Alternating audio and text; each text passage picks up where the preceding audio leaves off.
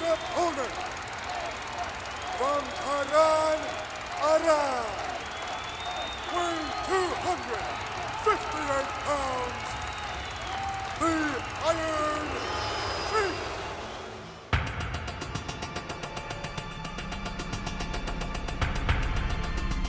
آیرون شیک یا شیخ آهنین داستان زندگی حسین خسرو علی وزیری کشتیگیر ایرانی است یکی از قهرمانان مشهور WWF که در دهه 80 میلادی طرفداران زیادی در آمریکا داشت. Most the people, they know me by name Aaron Sheikh. Camel clutch coming up. Hi, my name is Gian Megan, and hi, my name is Paige Megan, and yes, we are twins. این مستند توسط دو برادر کانادایی ایرانی تبار به نامهای جیان و پیج میگن تهیه شده و زندگی پرفراز و نشیب این قهرمان ایرانی را از زوایای مختلفی به تصویر می کشد.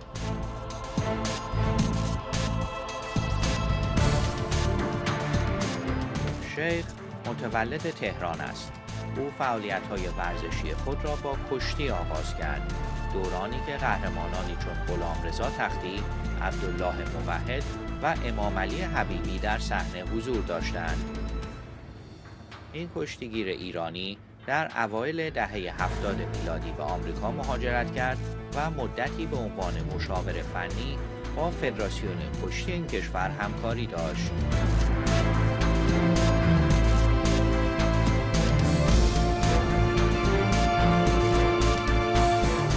پس از تأسیس WWF یا فدراسیون جهانی کشتی که برگزار کننده رقابت‌های کشتی حرفه‌ای یا کشتی کچ است به این مجموعه پیوست و در عرض مدت کوتاهی به یکی از شخصیت‌های جنجالی این رقابت‌ها تبدیل شد.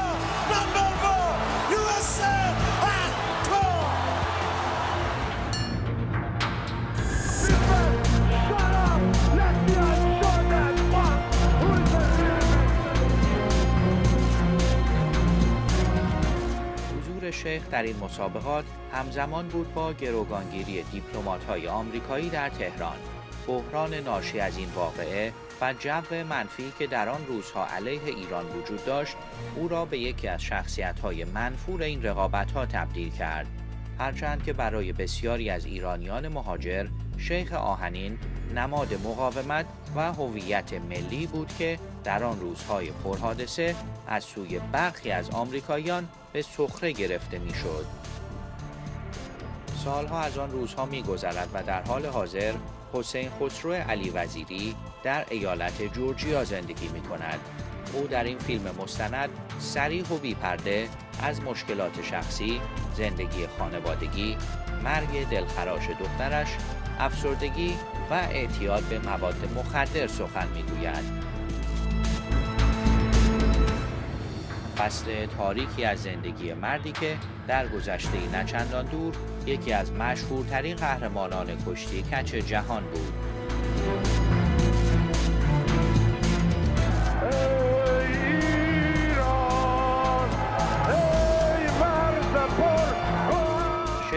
با کمک جیان و پیج میگن همزمان با فیلمبرداری و تولید این مستند به تدریج بر مشکلاتش غلبه کرد و وارد فصل تازه ای از زندگی خود شد.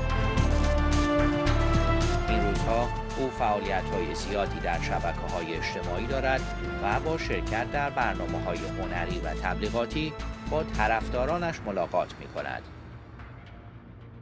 شیخ آهنین در کنار خانواده زندگی آرامی دارد و همچنان یکی از شخصیت‌های محبوب دنیای تفریح و سرگرمی است.